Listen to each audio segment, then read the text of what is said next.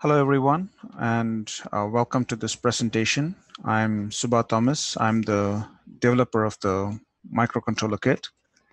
My objective with this talk is to give you an overview of the microcontroller kit and to go over some examples showing you how you can use this functionality in your own projects. So what does the microcontroller kit do? It automates the generation and deployment of code to microcontrollers. So why, so why is this relevant or why is this useful? Well, for, for some time, we've had uh, functionality to do control systems and signal processing, and now even system modeler is part of the Wolfram language. So these features are confined to simulation. Typically, you want to take your controller or your filter or, or the model for hardware in the loop simulation and deploy it to the real world. And that's where the microcontroller kit comes in. So once you have your controller or filter, you can automatically generate the code. You don't have to manually write the, uh, the microcontroller code. And typically when you're doing this, as you go from the real world to the abstract model and you're doing the design, um, that involves some assumptions and approximations. When you come back to the real world, you have to reckon with these assumptions and uh, approximations and you, you typically you won't get the design right the first time and you'll have to tweak certain parameters. Now, if you're manually doing that, that process is susceptible, uh, susceptible to errors and it can get quite cumbersome and it'll go, it's going to distract from the main design you're do, doing. So the microcontroller kit helps you to avoid all these problems. So the typical application areas for the microcontroller kit are in for controller design, filter design, hardware in the loop simulations, and data acquisition. So how, do, how does the microcontroller work? For that, let me go to the, the product page. So, so, the, so this area has just one function, and it's microcontroller embed code. And to microcontroller embed code, you give three arguments. The first one is the controller or what you want controller filter or basically the systems model that you want to deploy to the microcontroller. The second argument is what is the uh, microcontroller, which inputs, which outputs, and how you want to configure them. And the third one is the port to which the microcontroller is connected or what programmer you're using to upload the code to the microcontroller. So I like to think of this as what you want the microcontroller to compute, which microcontroller, which inputs, and so on, and where to find the microcontroller. So once we give this input, microcontroller embed code returns this microcontroller code data object from which you uh, from which you can get additional properties and the source code and so on. We'll, we'll, we'll see that when I go over the examples. And it returns these two, two LEDs. The first LED, if it's green, it means it's successfully generated the source code. And the second one, if it's green, it means it has compiled and successfully deployed it to the target. So what is going on between microcontroller embed code and microcontroller code data is the following. So when you evaluate microcontroller embed code, it's taking this Wolfram language code and converting it into, into a low level C or, or Arduino type sketch, depend on how you specify it. And from there, it compile, cross compiles it, and through the and using the programmer, it uploads it to the microcontroller using the external programmer. So if you just have Mathematica installed on your on your system, it's all it's going to do is generate the source code, and you can see the source code, and it's going to stop there. You probably get this one to be a red LED. But if you have a compiler toolchain, typically if you if you're in uh, install Arduino IDE, it'll automatically locate that if it's in the usual place and and then compile and then if you have the microcontroller it will it will go through the go through this process and upload it. If it cannot if you don't have a physical device it'll again say red and say I, I did I did not see anything on that port. If, if you have your compiler in a different location and and so on you have to specify it. But if it's in the usual place it, this whole thing just works automatically. Okay so let's go back here and and see so so what are some of the features before I, I go into the example so the basic thing is digital output whether you want to turn a pin high or low If you turn a pin high, you can you connect an LED to it, it's going to turn on and off. That's that's the that's the basic of uh, functionality of a microcontroller to set something high or set, set something low. A little more involved than that is pulse generation because in in digital output, in the whole sampling interval, the pin is either high or low. But in pulse generation, you can adjust whether how much time it's high and how much time it's low, and you can control that. Yes. So you get an output as, as a pulse instead of a constant output. Uh, so, so this is digital in uh, digital output. Uh, conversely, you have digital input. The basic thing is you can read whether something is high or low. A little more involved one is pulse counts. If you have a, a, a set of pulses coming in, because typically the output may not be, always the output may not be a constant high or low. If you have pulses coming in, if you can count how many pulses are coming in, that could give you like in, uh, important information. Like if it's it's the encoder attached to a motor shaft, if the pulses are coming fast, you can tell how fast the motor is uh, going and and so on. So that's digital output, digital input, and then there is analog output. Uh, that's the PWM signal. You can adjust the brightness of an LED or control a motor, uh, DC motor. And there's analog input, distance sensors, potentiometer reading, and then there are various communications, serial, SPI, and I2C. So these are the basic features of that, that are supported, and these are very general, so you can use them in any uh, device that supports I2C or whenever you want to send an analog output and so on. Okay, so let's let me start by looking at a at a basic example. So over here,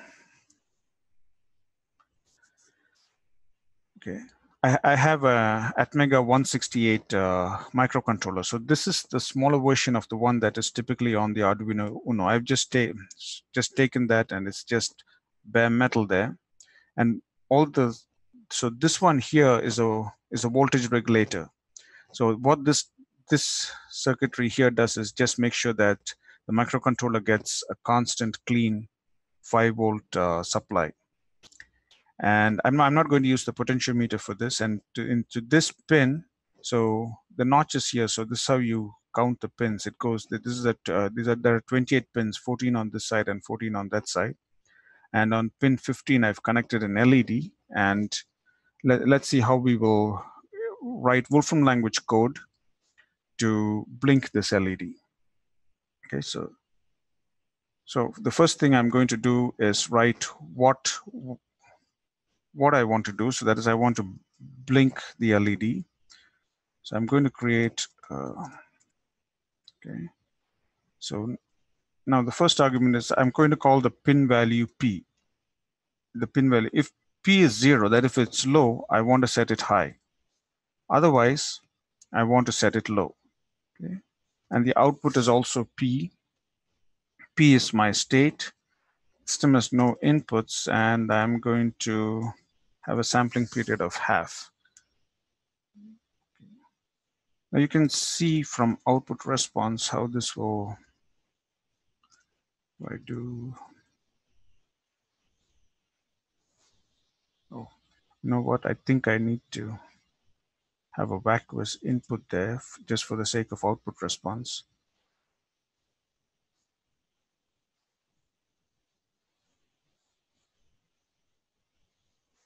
You see, this, this little block here generates a pulse output. So this is what I have now the first argument that goes should go into microcontroller embed code. This is what I want the internal computation of the microcontroller to be. So next I'm going to do the microcontroller specification itself.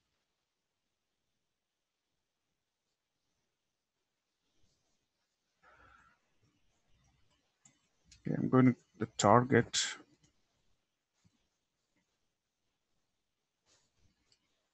like a, it's a dual inline package with 28 pins. I need to put 28 there. And it's going to have just outputs. The output is on pin 15 and it's a digital output. Okay, now, okay, I have to load the microcontroller kit before I go any further. Okay, then I can do microcontroller embed code. I can put blink there.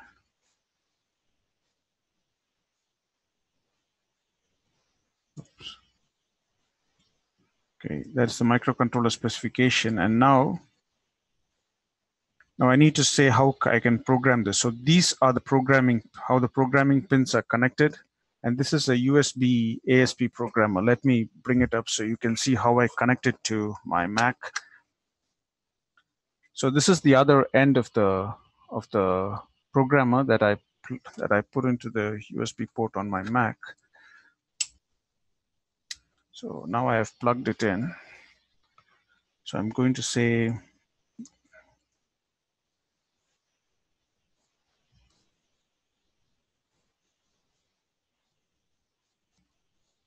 Okay, hopefully now this should work. Oh, oh I have not connected this. Just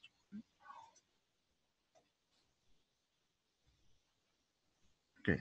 So, so now, because I've I've set the sampling period to be half, it's going to be turning on for half a second and then turn off for half a second. I can say increase that to two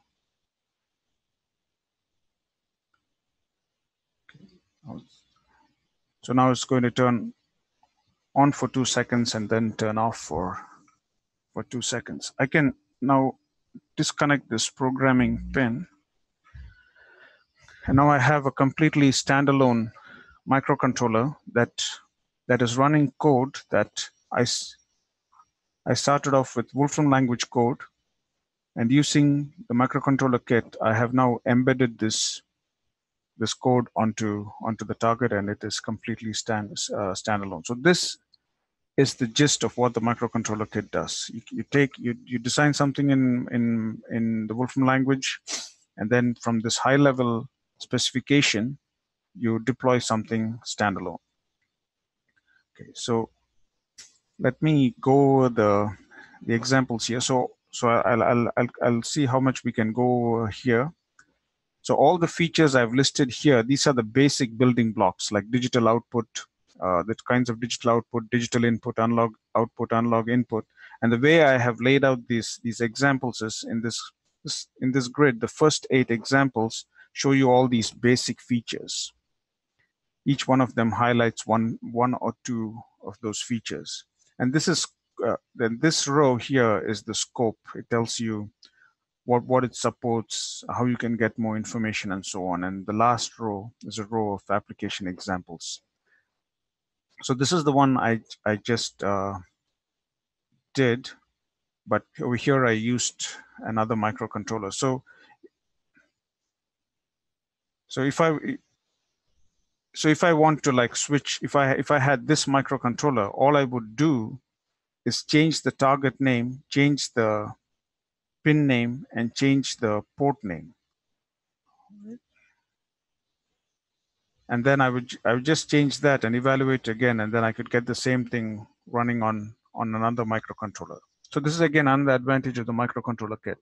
You you do some design and then you want to move to another microcontroller or you want to change it a bit. You want to change the the the the pins that you use so, you can just make those changes right there in the Wolfram language and it will take care of the rest for you. So the next example, yeah, this next one, slightly more involved. So the previous one that I showed, it just had uh, digital uh, output. So here I have digital output as well as digital input. So I'm, what I'm doing is I have two digital inputs. One is a button input and the other one is an encoder input. Okay, the encoder will tell me how much my shaft has turned. And I'm displaying that onto a seven uh, segment uh, display. So each one of these segments is an LED. So in the previous case, I had one LED. Over here, I have uh, seven of them. So let, let me start from the input side. So you, so you see this button. So by default, it's this leg, which is connected to yeah, this leg which is connected to 3, this is 0, 1, 2, 3. Pin 3 is always low. This is just a pull down resistor. It's always low. When I press this button, that pin is going to go high, and that is the a digital input to this microcontroller. And then the other digital input comes from the encoder. So, and as I mentioned before, that is a series of pulses. So I can count the number of pulses by counting. So if I want to see number of pulses here, I can just count the number of rising edges when it goes from low to high. That'll tell me that now, no, I see one, two, three, there are three. And then I can also count the number of pulses by counting the number of uh, falling edges. Or I can count whenever it, it's toggled, it's toggled and then divided by. There are, there are several ways to compute it. And and and when the encoder is sending input, it's not going to be sending like a constant stream of pulses. Those pulses are, are going to be closely or or uh, widely spaced depending on how fast or slow I'm turning the encoder. So that is another input. So, okay, so let, let me go look at the code too as I'm as I'm doing it, and then we'll get to the output side. So the two inputs are the encoder count. I'm, I call that e count and button. Okay, so so and I have a variable called t count for the total number of counts. So I'm the total number of counts at each sampling instant, I, I add it to encoder count. So that keeps on accumulating. But if, and this encoder has 10 slots. So in one revolution, it has 10 slots, and this can read only up to nine. So when it goes above 100, I want to reset it. Right. So if that goes over, if it becomes 100, or if I press the button, I want to reset the total count to zero. And 10 10 uh, counts is one revolution. So if I divide total count by 10, I get the number of revolutions. So this counter counts how many revolutions the encoder uh, encoder makes.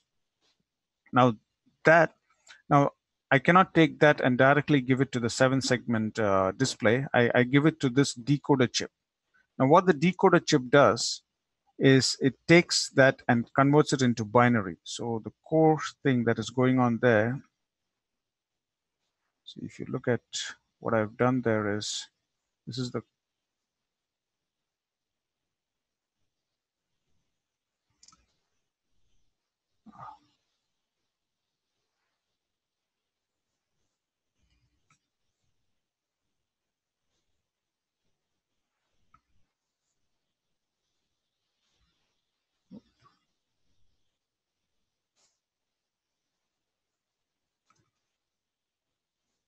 So it takes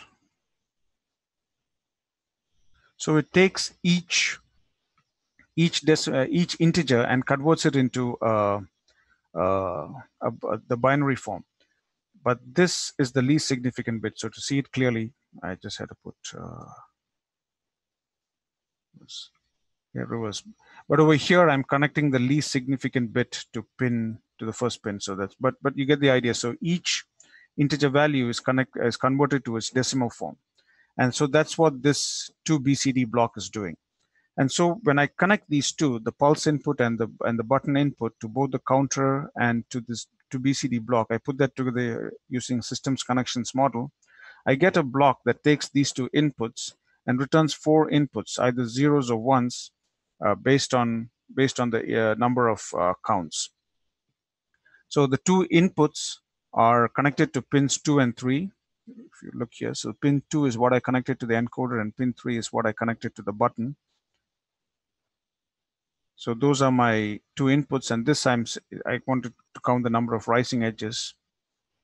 And then the outputs are the four digital pins that are connected to the decoder. So from the decoder's data sheet, if if these values are sent to the decoder, it will uh, it will correctly uh, trigger the inputs of the seven segment display and display the correct value. So if we just have to make sure that we send the right binary coded values uh, to to this uh, to this decoder chip. And once I have the the the tar, the inputs and outputs, I can I can I I can put together the microcontroller specification and then deploy the code. So over here, I have the uh, the encoder connected to this shaft here, and I have a button. So let me, it's hard to see that's zero, but after one revolution, it goes up to one, and it keeps on counting like that. And then it overflows back to zero. keep on counting. Somewhere I press the button and it should reset it to zero. So, so this is the example of uh, a digital input and output. And, and we, we saw two kinds of uh, digital inputs. One is a simple button input and one uh, and one is an encoder where you where you can handle pulses. So the next one is is analog input and output. So I have an RGB LED here and I have three potentiometers. They give and then the microcontroller reads the the analog signals the value of these potentiometers and then adjust the brightness of the LEDs on, on the on the RGB LED. So what, what, what is the core computation I want the microcontroller to do? It has three inputs and all the three inputs are just uh, mapped to the output. So it's just an identity matrix essentially. And the inputs are the three uh, pins to which I've connected the potentiometers A0 to A, A2 and then the outputs are pins 9 10 and 11 so yeah for this we have to look in the datasheet because not every pin on a microcontroller will support pwm so only those pins we can use for output. And then i have the complete microcontroller specification and with the port to which the microcontroller is connected and then i embed the code. So you see i adjust the uh, the potentiometer connected to the pin that was mapped to the red one. If that one goes up, the green, the blue, and and then I, I if I concurrently turn two on, it shows up and so on. Yeah, and and this this one here is what I what I just did initially. Yeah, I had this configuration where it's where I was using an USB ASP a USB ASP programmer to program it. But you can also use an Arduino Uno. There's a way to program it using the Arduino Uno. So let's, yeah. So, so I'm, I'm just going over the basic examples. The other thing you will notice is, you see, we support a wide variety of microcontrollers. So if here I've used a, a microcontroller from Pololu, the next one is an Arduino Yun, and the other one is an Arduino Micro. Okay, so so so another another thing is I'd like to point out is it's it's not just the Wolfram language code. So because this is like the maker community, there are a lot of libraries that are out there. So if you want to add, if you want to, if you have a device, some sensor, and you want to use the library that is associated with that device, you can do you you do that using the microcontroller kit. So over here I have a, a distance sensor, and and th there is a library for that on GitHub, which I downloaded. And then there is this LCD display for which also there is a library. So what I'm going to do is use the library to get the distance values and use the second library to display it onto that LCD. So again, the system, what I want the core computation is, is very trivial. Just the input goes to output. So it's just unity. And when you have an external library, this is how you specify it. It's not really in terms of the pins. We start off by saying that the type is external library. What are the files that need to be included? So how you have to create this object, this this object, and these are the pins to which that is connected. That those that green and blue that you see going are connected to pins uh, 12 and 11. That's the trigger and the echo pins, I believe, to for this sensor to those for this ultrasonic sensor to send and know how far the object is. And then in the loop, so once it sets it up in the loop, this is the function, the this is the method, the ranging function, and it will return the distance in centimeters. Okay, so this loop is what it's going to be running in a loop uh, at each sampling instant. Now for the output, again, I do the same thing. I say it's of type external library. I, I specify the files to the file to include. I create the object. And when it's an output channel, the output to be uh, sent is going to be assigned to this to this first uh, value in this list. Then it clears the LCD and prints it, and it just appends it with the unit centimeters. So once I have the input and output and the microcontroller that I've connected it to, I give the microcontroller specification. Over here, I also have to now say where the libraries are on your files in your file system, so so that it can find that and compile it properly. So typically you install in the Arduino libraries folder. That's how the Arduino IDE, if you want to use these libraries from the Arduino IDE, that's, that's where it's uh, uh, installed. And then we deploy the code, microcontroller embed code, the system, the microcontroller, the port to which it's connected and give the optional library specification. See, I moved far, even further, close and so on. Okay. So I think what I'll do next is just give a quick overview of what are the support, uh, what are the scope of the project. So, so, so we support the systems model. So you, you may think they are restricted, but these are the uh, these are very ideal for describing what computations the microcontroller needs to do. And it can be used to describe filters, controllers, um, for, for modeling, even for data, as you're seeing, even for data acquisition, you can, you can create a model and, and, and describe it in terms of these models and then deploy it in terms of the, uh, deploy it to the microcontroller. So these are the ones, the transfer function, state space model, uh, affine state space model, nonlinear state space model, and this one is, is useful. You'll see it in an application example. So if you do a systems connections model, it will create each one of these as a separate function. So it will not reduce it. Okay, so sometimes you cannot reduce, there'll be a little involved blocks, you cannot reduce it. You can use a systems connections model to, to describe your system and then deploy it. Now, what are the, the, the targets we support? Uh, we support several things and, and to find that, there we have three entity types, the microcontroller target, microcontroller vendor, and microcontroller family. So the microcontroller, so so this is the this is the core. So these are the families we support. So any any target that has one of these microcontrollers that uses one of these microcontrollers, the microcontroller kit can deploy code to. And the subset of and the and the list of vendors that that we have tested and it looks like it works are are, are, these and you can find whether anyone is there using that and if you want to get the actual microcontroller name, you can use this entity type microcontroller target. Yeah, and, and yeah, and, and then you can do entity class. You can query whether it belongs to this vendor and this family, and and so on. Yeah, and yes, and this is something I had mentioned earlier too. So from the microcontroller code data object, you can get additional properties. So if you want to know what was the source code that was generated, you can ask for I, can,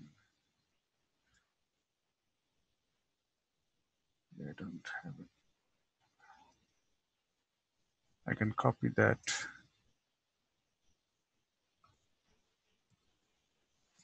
So you can see what was the source, what, what was the source code that was used. You can probably copy this to, to the Arduino IDE and it'll work from there too. But if, if over here, don't know whether this will, okay, let me try for a bare metal.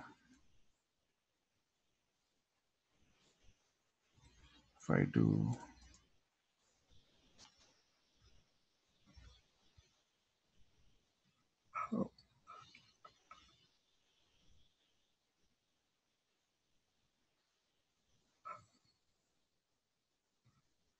Oh, I'm sorry, I just disconnected that one. So let me bring that up. Yeah, I had this disconnected. So let me see if this works.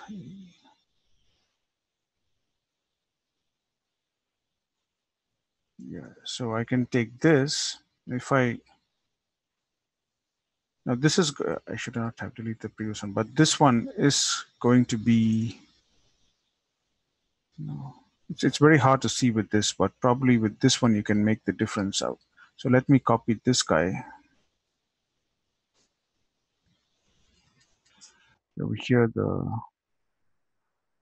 if I do that,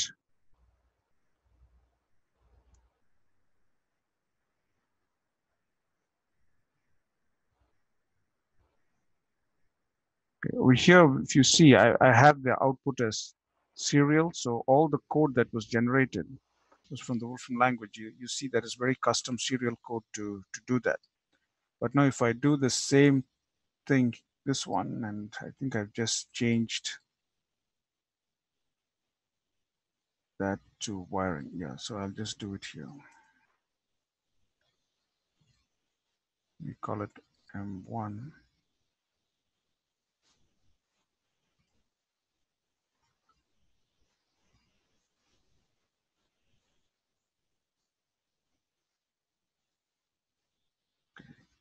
Now if I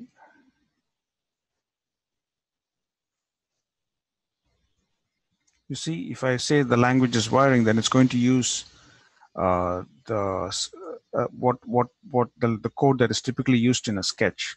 So you can copy either of this into an Arduino IDE and, and go from there. Okay. Yeah.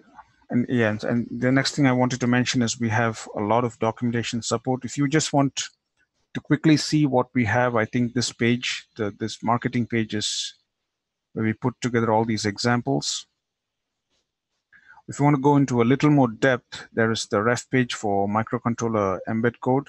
So each one of these features, it goes over in in in greater a little more greater depth depth and and then if you want to go into even more greater details, there are there are tutorials for each one of them.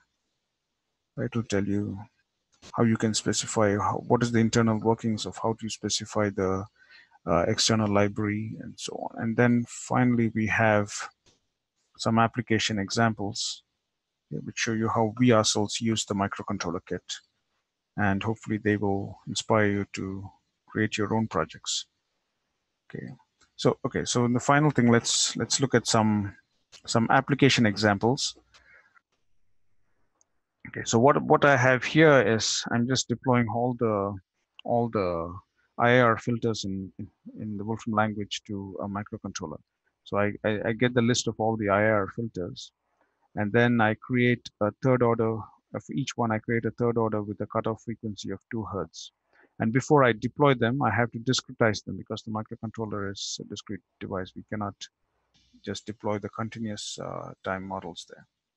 And then I put them together using connections, uh, systems connections model.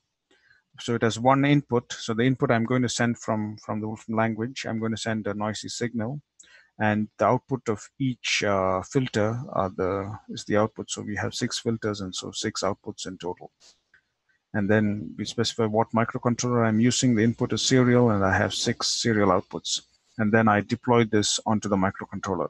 At this point, you can use any serial tool to go back and forth with the microcontroller, but it's very um, convenient to use the Wolfram language because you get all the visualization uh, with it.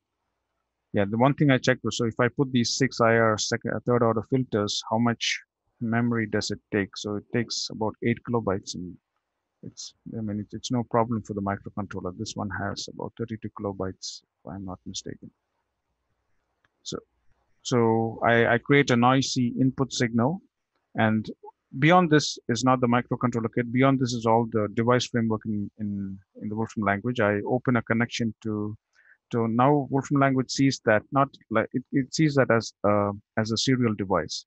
I open a connection to that device, and then I run a scheduled task.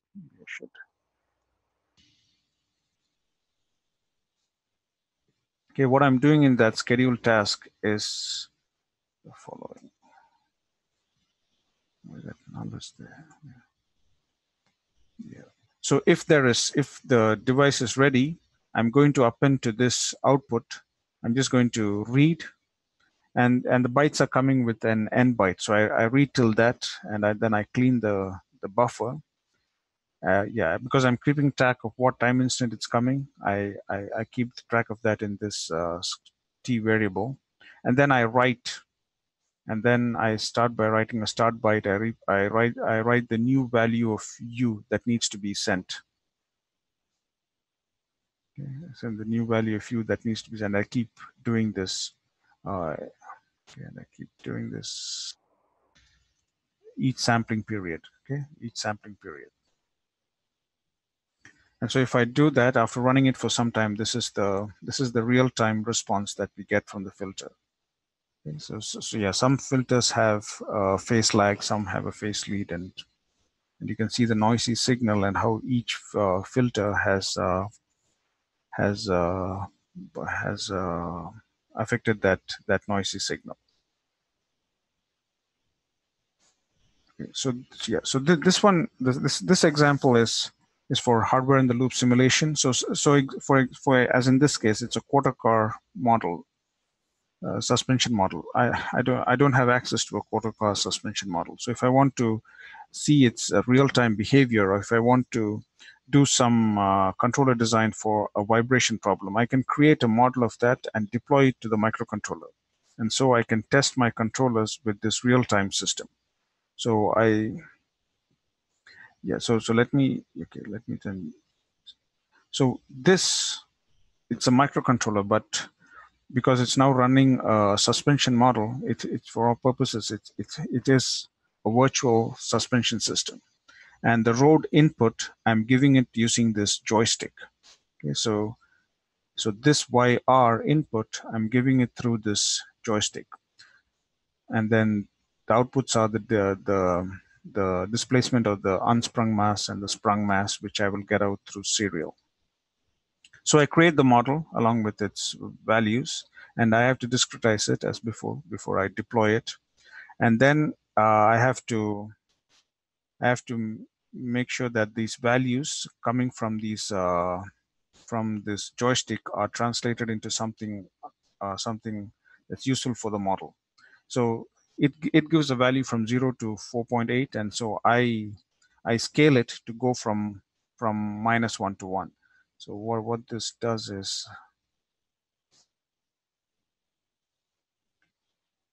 yeah. So if I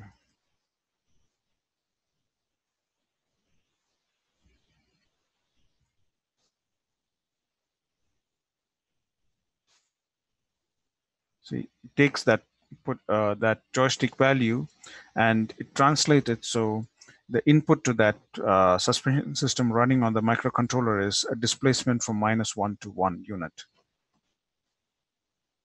Okay, and so then I put together the connections model. It, you, you see it's the same paradigm that we do in each example. We put together the, the systems model, we do the microcontroller specification, we identify the port, and then we deploy it. So once I have the this uh, the systems model, I go to the microcontroller specification. Say this is the microcontroller. The joystick input is an analog input on A3, and the outputs are the serial inputs. I, I the two. So what I'm outputting is all three. I, I output the and then just like before I create this uh, schedule task where I can read it and this is just a, a, a, time capture of what the response was like and then in, in the Wolfram language, you can also create this dynamic graphic and see it in, in real time. So that's an upward motion of the wheel at the bottom, and you can see how the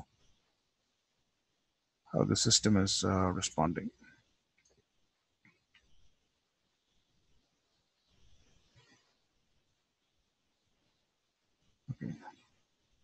So, okay, so these examples are like, so we now had a, a, signal processing example. This is a hardware in the loop simulation example.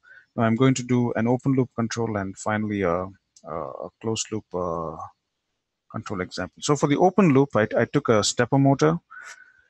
So this is the stepper motor. It needs a driver because, I mean, these, yeah, all these motors, they, we usually do it with drivers because they draw a lot of current. And and and and the way they work is we have to send uh, a high or low signal to the four coils on this on this uh, on this motor.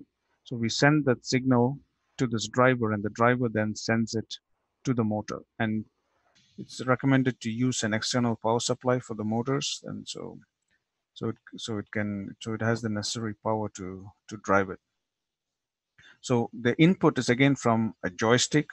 So that joystick input comes into this microcontroller and then the microcontroller sends out the output using so this has uh, four coils and so zero one two and three Basically, this is an Adafruit Trinket and yeah it's very nifty. I've used up literally all the pins on that microcontroller. So, so the motor itself has um, 50, 512 steps to complete one revolution. And so th this is like a design choice. How, how much resolution do I want? How sensitive do I want the motor to be to, to the joystick input? And there's several ways to divide it. So I choose this one here where I have eight steps per division. Excuse me.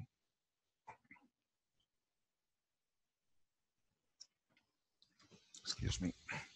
Where I have eight steps per division. And so with in 64 divisions, I will, in 64 steps, I can complete one revolution.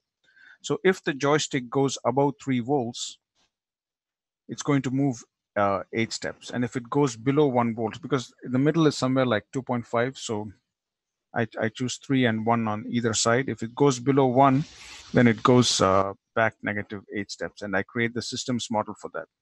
The joystick input is the is the analog input. It comes in on pin four here. I think we can. It's coming on pin four. It's really hard to see that. Pin four. excuse me yeah and and this is the input channel that that was fine and now for the output I mean, I'm going, again going to use the library. So I had to specify what was the what's the header file I'm using.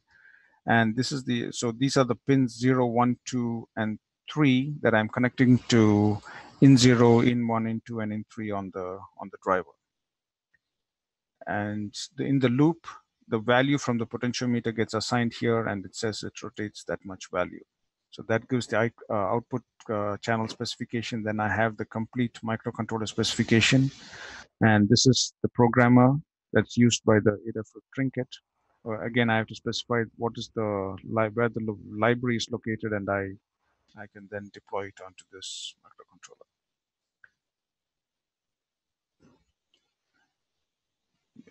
So you can change how how responsive it is by tweaking those different uh, parameters. So this is open loop control. So if you want to position it somewhere, you manually have to uh, adjust the joystick. So the next one is closed loop control. I have a DC motor. So the first thing I do is, uh, yeah, so don't have, yeah, let me go like this. So I have a mod, um, the model of the motor and from that, I do a controller design, discretize it, and?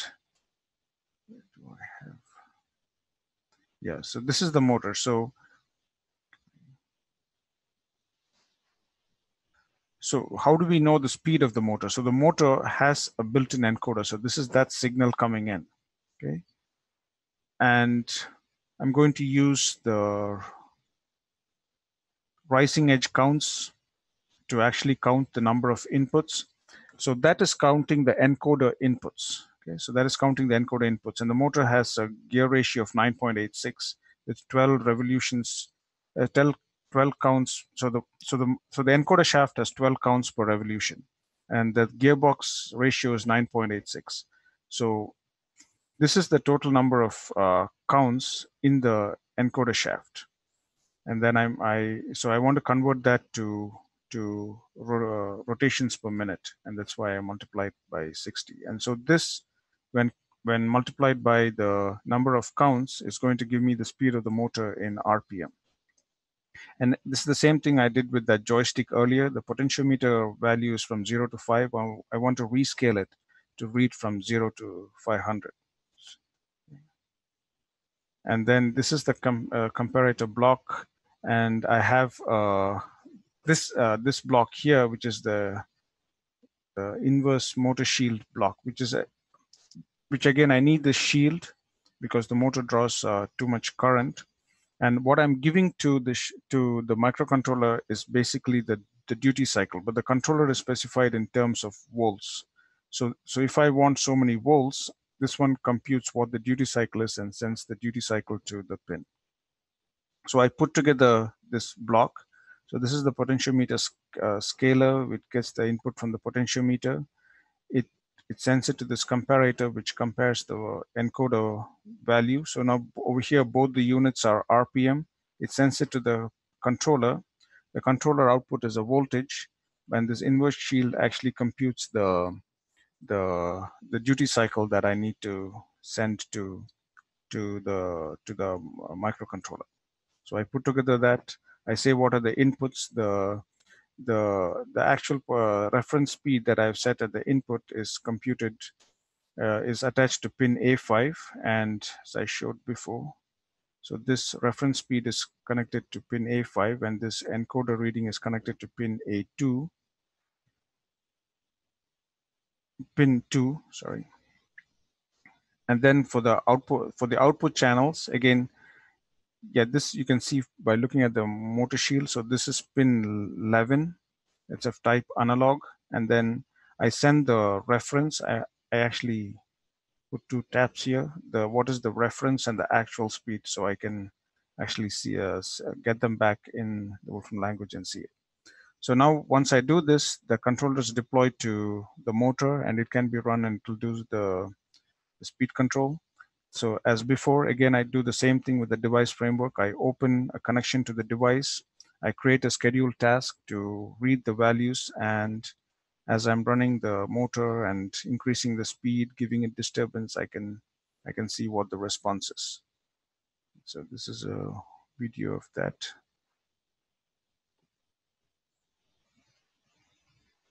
Yeah, I increase the speed. Can increase the speed. Now I'm going to give it a disturbance. And you know the controller fights back with that disturbance and and tries to maintain the motor speed at that at that same level. When I take the disturbance off, there's a slight blip. When I bring it on, there is. So that that what I'm doing now is just a metric of disturbance rejection. Probably now I turn it off.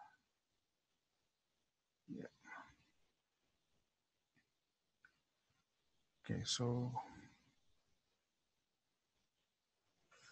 okay, so to to summarize the the, the microcontroller kit, it automates the generation and deployment of uh, code to microcontrollers. It supports several target boards and microcontrollers. It enables a model-based design workflow where you go from requirements through the modeling, through the controller design to deployment, and then you have to verify this. So, so this is a key component in that model-based design workflow. It generates real-time code, although I didn't get much time to describe that. But if you go to the tutorial page, you'll see. So it makes sure that, so this is important for controllers and filters and so on. So you got to make sure that the sampling rate is right. So at each sampling instant, it's getting a new value and updating the controller. Because if you take too much, if there is too much delay, the controller will not be, or the filter will not perform as expected yeah and then there are hooks. Also this one i didn't cover but but you can go to the tutorial pages and if you if you if you see that you need more information you can come here and although there are it, it automatically computes a lot of things you you can change things. Like i think this is a you can change this is a you can change the timer parameters and so on. So if you want to really have fine control that that is also available yeah, we, we already saw that how you can integrate external uh, libraries. You, you can see the source code and other properties and it and it reduces the overall project development time. So I hope you found this talk useful and I wish you all the fun and success with your projects as well. If there are any questions, send them to, uh, to support at uh, wolfram.com. And thank you very much for your time.